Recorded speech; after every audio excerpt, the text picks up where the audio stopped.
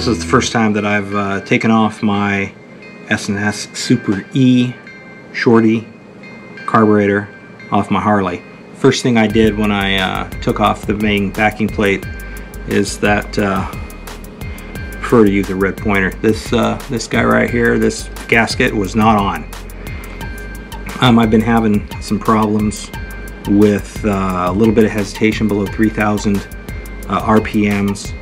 Uh, the uh, tech instructions at S&S uh, carburetors say that if that happens, then usually um, one culprit could be a uh, intermediate jet, or in the old days we called it a pilot jet, uh, which is in here. Uh, was uh, needs to be adjusted, and for my case, it's possible that that means that the intermediate jet that's uh, that's right underneath there is um, is going to be uh, too small. But I don't know because I haven't cracked it open yet. The first thing I did when I got it off is um, I, I looked it over. There's a couple of things that I'm, I'm going to replace the whole thing on a master rebuild. I'm going to replace I'm going to replace this and all these here and these springs. Springs are the tricky part I think in this. the um, the springs are the tricky part. So you have a spring on this side that hits this plate right here and then there has to be another part for the spring to anchor to so when you open up the throttle it snaps back and that spring is very hard to see but it's located right in, right in there. The other spring on the other side here, where the um, for the acceleration pump is uh, located here on top, right there, and then it wraps to right, where the heck is it? Right here. So you have one here, right here, and one there, right there.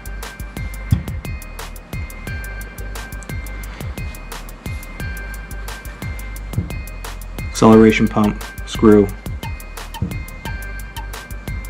air fuel mixture screw.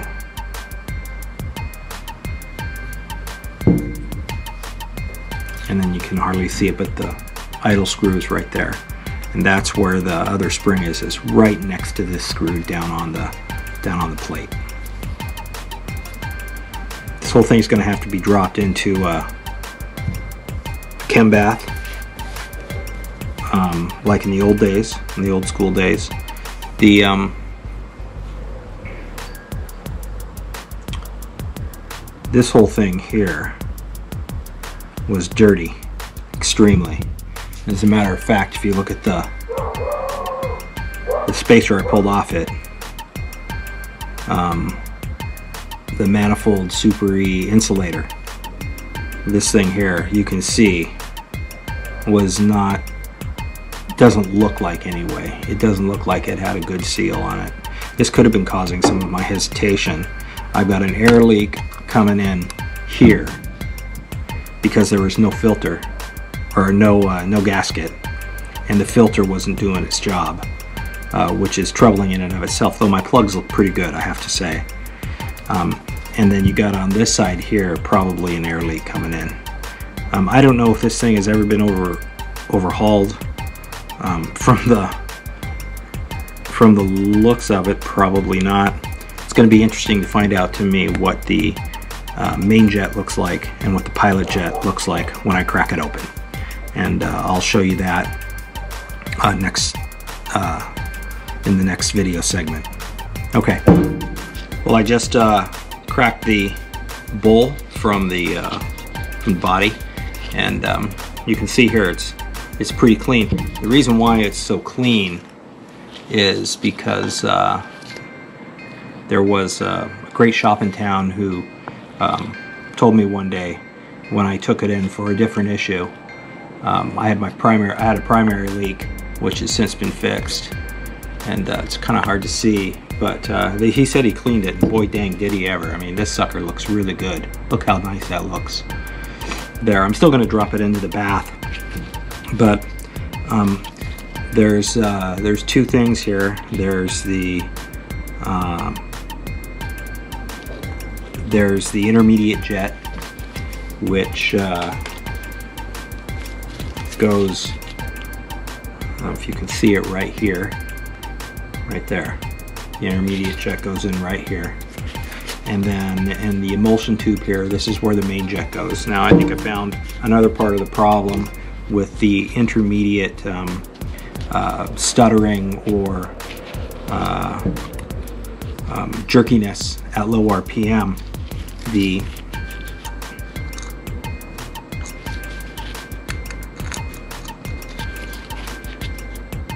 the uh, pilot, the intermediate jet here when I pulled it off is really lean. It's uh, it's not even close to what uh, most of them are recommended for the size engine I have. This is 265, 0.265. Um, they recommend a 0.295, which I've just ordered. The main jet is interesting as well. Um, it's supposed to be 0.72, and uh, this one is a point. Um, it's a 0.74, and also uh, it was kind of burred up a bit here on the end. So I'm going to clean that up anyway.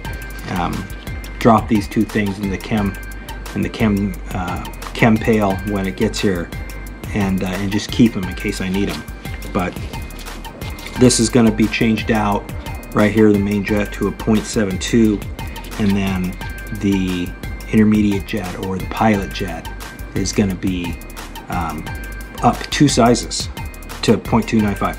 This one alone would probably cause the stuttering um, at uh, for my fitment right now. I, I bet you uh, they did that because they probably wanted higher performance on the high end.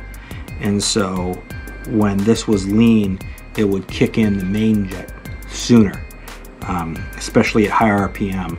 So at higher RPM, it would be, it would, it would kick in and more fuel, more power.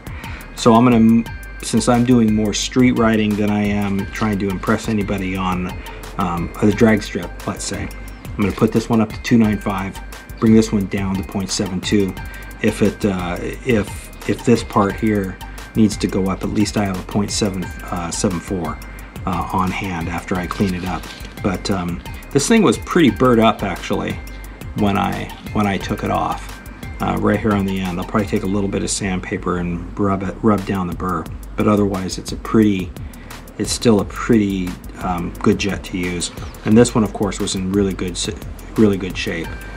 So uh, clean because of performance, performance cycles. It's too bad they went out of business. They were a great little outfit and uh, did great work on my bike when I needed them to. Uh, next thing to do here, though, is uh, I have the, I took this off, but I put it back in because I want to measure the float level. As you can see here, the float level here. And this is supposed to be between the top of this and the float, about an eighth of an inch uh, or so. And so I'm gonna be um, measuring that here in a little bit with one of these right here. And you can see here that the bottom pulls out. It's just enough lip for me to tell um, on this side if I'm down an eighth an inch or not. It doesn't look like to me, just by pressing on it, that the float needs to be changed at all. I'll keep the float, of course, in this in this fitment uh, when I rebuild it. Um, one other thing to note is make sure you always have this little there's a little blue o-ring right here. That sucker's got to go back on when this goes in. This part here is pressed into the body here and then in the bottom here is where you have your uh, little acceleration pump diaphragm and so we'll check that out next.